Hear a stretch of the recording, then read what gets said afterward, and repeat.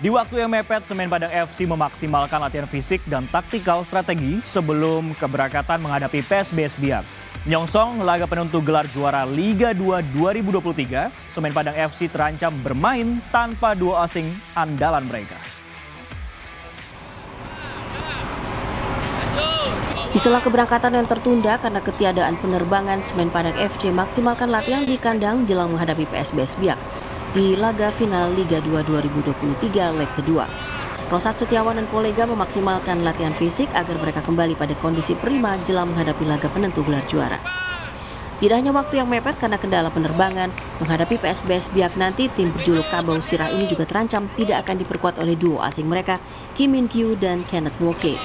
Kenneth masih dalam masa pemulihan sementara Kim mengalami cedera saat menghadapi Malut United di leg kedua babak semifinal.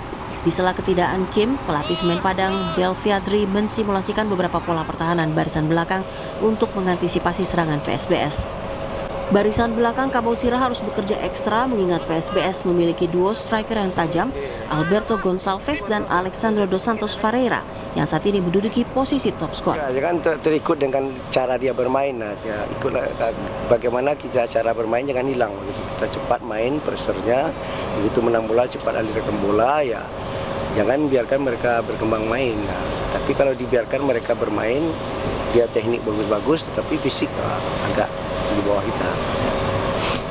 Menyongsong laga final menghadapi PSBS Biak, Semen Padang FC akan memboyong 21 orang pemainnya ke Biak. Pengalaman yang dimiliki para pemain membuat Semen Padang bisa tetap tenang untuk meraih hasil maksimal di laga penting nanti. Rio Johannes, Kompas TV, Padang, Sumatera Barat.